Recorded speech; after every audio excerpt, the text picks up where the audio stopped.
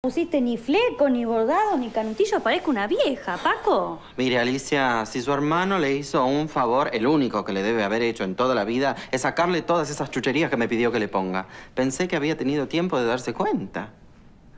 Ah, bueno, vos querés hacer carrera sin esfuerzo. ¿Qué pretendés? ¿Hacer vestiditos así nomás? Si es eso lo que querés, anda a ser un costurerito de una maestra normal. No pretenda ser el modisto de la esposa de un senador. Dijo la esposa. La hermana. No, dijo la esposa. Dije la hermana. No, dijo- Ay, dije la hermana. ¿Cómo voy a decir la- qué, qué asqueroso? La esposa de mi hermano. ¿Qué- Pero ¿a quién se le ocurre?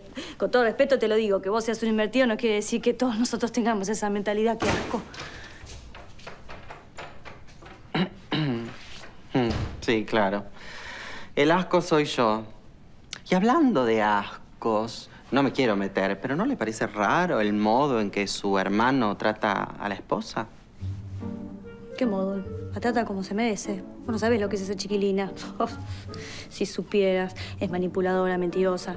Le llora todo el tiempo y a mi hermano con dos lagrimitas lo ablandás. Sí, pero no son solo lágrimas. Yo oí unos gritos terribles. ¿Mm? Además, antes, cómo nos arrancó todas las cosas del vestido. Fue muy feo. Bueno, te molestan los llantos, los gritos, el temperamento de mi hermano, mi estilo. Evidentemente, cometí un error al contratarte, porque vos y yo no somos compatibles, querido. ¡Cuidado los alfileres! ¡Ah!